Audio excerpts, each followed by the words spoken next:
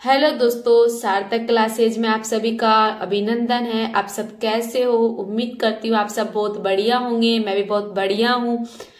आज मैं आपको राजस्थान के बेरोजगारी भर्ती के सारे डाउट क्लियर करने वाली हूँ कि कौन कौन फॉर्म भर सकते हैं, क्या क्वालिफिकेशन होनी चाहिए इसमें, कितने पैसे मिलते हैं, कैसे फॉर्म भर सकते हैं, आज मैं सारे डाउट क्लियर करने वाली हूँ।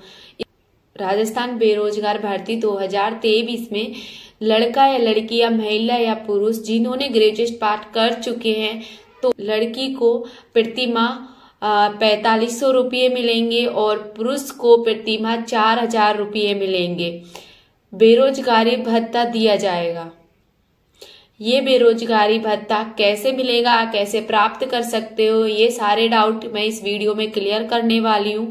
तो लास्ट तक बने रहना। और अगर आप चैनल पे न्यू हो तो चैनल को सब्सक्राइब करो एंड बेल आइकन पर क्लिक करो।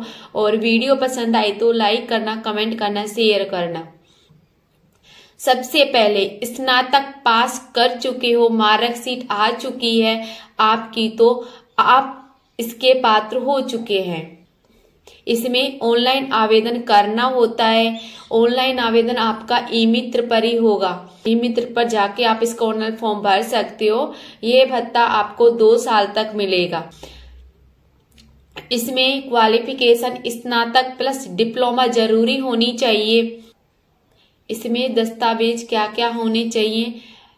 इसमें डॉक्यूमेंट, दसवीं की मार्क सीट, बारहवीं की मार्क सीट, स्नातक की मार्क सीट, एंड डिप्लोमा में आर एस कर रखी हो, या सी सी, ट्रिपल सी वाला कंप्यूटर कोर्स कर रखा हो, या तीन माह का कोर्स होता है डिप्लोमा का, जिसमें कौशल शिक्षण कोर्स होता है तीन माह का, जिसमें आपको खाना पीना वहीं पर मिलता है, वहीं पर आपकी ट्रेनिंग होती है, वो वाला कोर्स हो सकता है।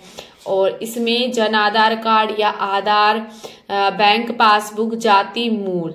ये डॉक्यूमेंट ज़रूरी होते हैं, इसमें आयकर भी होता है। आयकर को आपको तभी बनवाना होता है जब आप फॉर्म भर रहे हो। तभी आपको आयकर, तभी आपको आयकर बनाना चाहिए क्योंकि वो छह माह ही चल सकता है आपका आयकर। और आयकर आपको चार पन्नों वाला ही बनवाना है। अगर किसी के पास बीएड की डिग्री है पोलोटेक्निक की भी डिग्री है, या आईटीआई की डिग्री है, या या R S C I T की मार्क सीट प्लस स्नातक की मार्क सीट से आप फॉर्म भर सकते हो।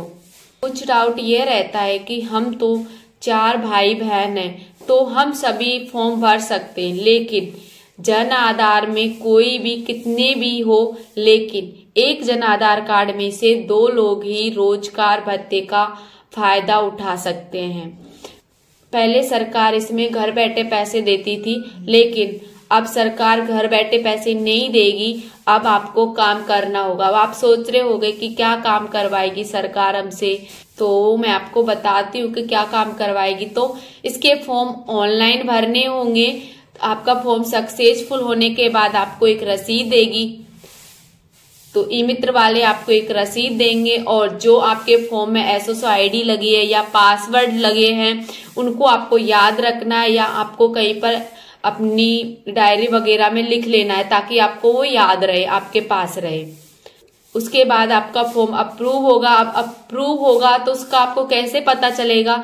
तो या तो आपके जो मोबाइल नंबर आपने फॉर्म में दिए थे या ईमेल आईडी लगाई थी तो उस पर ही आपका मैसेज आएगा या फिर आप, आप अपनी एसओस आईडी पर चेक करवा सकते हो कि मेरा फॉर्म अप्रूव हुआ है या नहीं हुआ। तो आपका फॉर्म कितने दिनों बाद अप्रूव होगा? या तो आपके फॉर्म को अप्रूव होने के बाद या तो आपके फॉर्म को अप्रूव होने में छह महीने का टाइम लग सकता है, या दस महीने का भी, या एक साल का भी लग सकता है।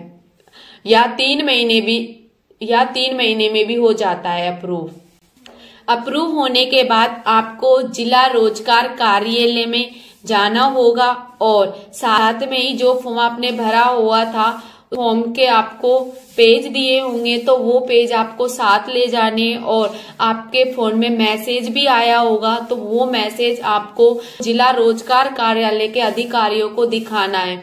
वो मैसेज वो मैसेज आपके अधिकारी देख के आपको आपको अपना ज्वाइन लेटर देंगे। वो लेटर आपका इंटरशिप का होगा। आपकी इंटरशिप सरकारी कार्यालय में ही दी जाएगी। सरकारी कार्यालय में कहाँ पर दी जाएगी? ये आपकी सरकारी कार्यालय में आपके क्षेत्र के आसपास ही दी जाएगी। अगर आपको दूर भी दी जाती है तो आप ई मित्र पे जाके या फिर रोज़गार कार्यालय में जा अपने, आप अपने पास के क्षेत्र में करवा सकते हो। जैसे आपकी इंटर्नशिप सरकारी कार्यालय में, जैसे ग्राम पंचायत हुई गवर्नमेंट स्कूल हुई, या तहसील तहसील हुई, या फिर एसडीएम का ऑफ़िस हुआ, वहाँ पर आपको काम करना होगा। आपको प्रतिदिन का चार घंटा काम करना होगा। फिर प्रति माह आपको हाजिरी का लेटर लेना होगा। उस पर जिस सरकारी कार्यालय में आपकी इंटरशिप लगी हुई है, वहाँ की वहाँ पर उस लेटर पर आपको मोहर लगवानी फिर यह लेटर आपका एस एस आई डी पर स्कैन होगा। अभी स्कैन कहाँ पर होगा? ये ई मित्र पर होगा। जैसे ही आपकी एस एस आई डी पर स्कैन होगा, तभी आपका भत्ता आ जाएगा। अगर आप फॉर्म भर रहे हो और आपने डिप्लोमा नहीं कर रखा है तो आपका फॉर्म अप्रूव नहीं होगा। अगर फिर भी आप R S C I T के हिसाब से फॉर्म भर रहे हो, आपने course R S C I T का कोर्स नहीं कर रखा है तो आपको सबसे पहले R S C I T की ट्रेनिंग दी जाएँगी। सबसे पहले आपको R S C I T की ट्रेनिंग लेनी पड़ेगी। उसके बाद आपको इंटर्नशिप दी जाएँगी। अभी इसके फॉर्म नहीं भरे जा रहे हैं, तब भी इसके फॉर्म भरे जाएँगे।